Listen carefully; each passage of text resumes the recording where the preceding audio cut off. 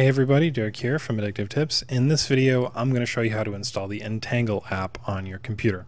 So there are a lot of different ways to install it.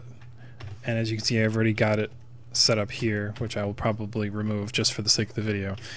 But uh, I'm using Manjaro, which is a which uses Arch as a base, but you know, a lot of people don't use Arch, so we're going to cover the Flatpak installation. So to start off, open up a terminal. Now I'm going to quickly remove Entangle from my system so that I can go over how to install it. Alright, so to install Entangle on Flatpak, what you want to do at first is, uh, let's maximize this terminal, just do Flatpak search Entangle. Now this will allow you to search the FlatHub store. You can also just copy the commands I have in the article, but uh, you know, just let it search for the app.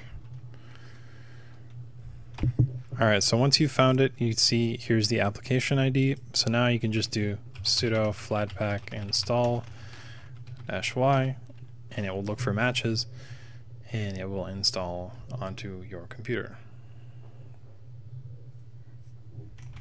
Installation should be quite quick. There's really not a lot of stuff that it needs to download. Most of the stuff is already there. It just needs the locale and the the files, and we should be able to get it going as soon as these two are done. So once that's done, I can just open up Entangle like so.